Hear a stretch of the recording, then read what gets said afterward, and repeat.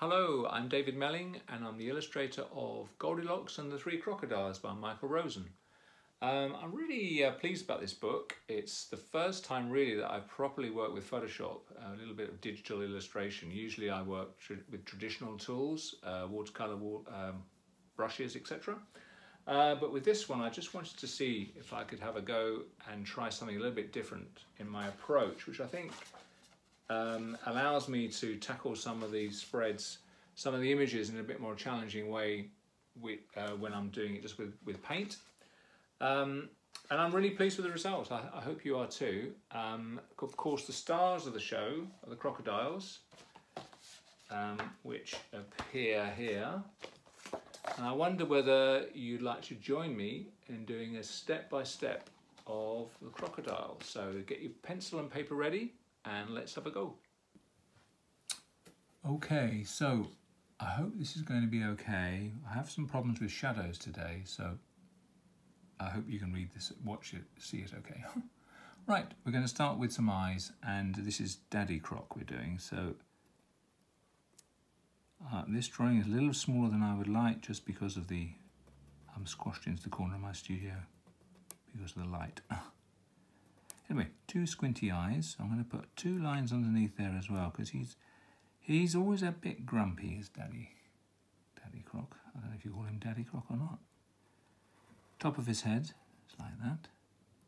Now the top of his snout is a wiggly line which I tend to count. So if you watch what I'm doing, one, two.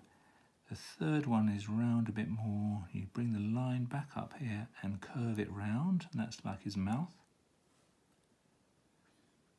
Then his neck comes down like so. On this side I'm going to bring a line slightly in, which is a bit like his bottom lip and the line down there is a bit wider at the bottom than the top. Then we have his nice big round tummy.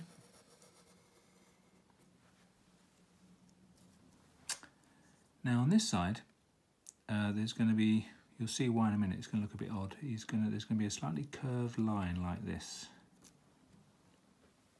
just past this gap. And I'm going to do a sort of like a circle to join the rest of it up. And this is, you'll see why now, this is inflatable beach ball. So his arm comes just above that, that line, if you like, and curls round because he's holding on to his beach ball. And the back of his back, bottom of his back is there. Now I'm going to, by the way, I hope I'm not jumping ahead too quickly. If you, if I'm going ahead too quickly, you can always pause the video and, and kind of go back and have a look, but um, hopefully you're good. I'm going to count the sort of spikes on his tail here. I'm going to do one, two, three, and then his sort of pointy bit. Slightly all curvy line coming back in.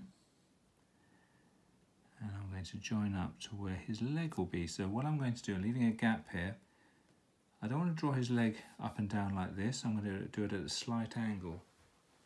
Now, I'm quite near the bottom, so hopefully I can just include it like that. Join that up. And then his foot comes out there and little toes. And the same with his other foot, uh, leg, sorry. Rather than go there, I'm going to come in at an angle, probably about here. More so, actually. Those three toes.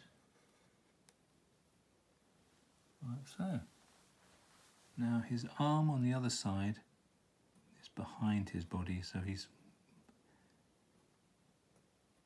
putting it lean, putting on his hip, if you like like that. Now I'm going to do sort of his body markings, if you like, his textures. Um, so we're going to do this sort of like it's a string of C's and it comes away from the side edge of his body like this.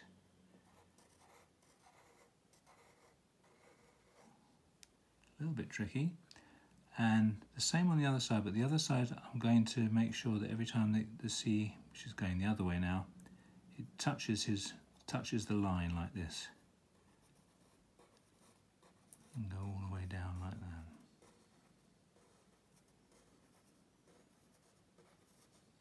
And that way it just looks like he's move, he's not looking you straight on it quite quite like that. And some of these half circles around there like that as well. Okay. Then we have the tummy lines. Just to make his tummy look really big. And uh, so we're going back to the beach ball. The beach ball has a little circle at the top where the, uh, the air goes in, I suppose. And I'm going to have one line like this, a bit like a cross. Yeah.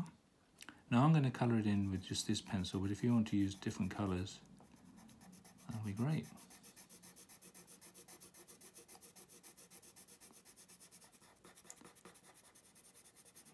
Yeah, sorry.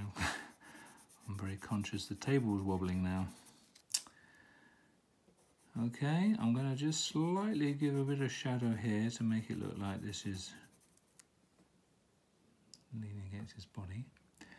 Um, I've noticed up here I've missed his teeth, so there's a few teeth to put in. Now I think he doesn't go to the dentist very often, which is probably why he's grumpy. So he's missed, he's lost probably one or two teeth. So put in however many you want to where are we now? Yeah, so I think we're going to do a little shadow at the bottom there. And you know what, just to finish off, I'm going to give him his sunglasses. So I'm going to put one heart top of his head like that and one a little bit to the side like that.